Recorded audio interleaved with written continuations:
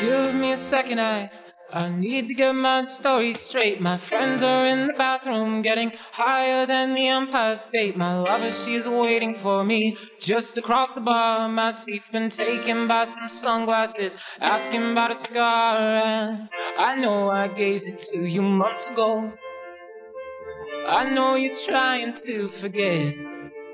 But between drinks and subtle things, the holes in my apologies, you know, I'm trying hard to take it back. So if by the time the bar closes and you feel like falling down, I'll carry you home tonight.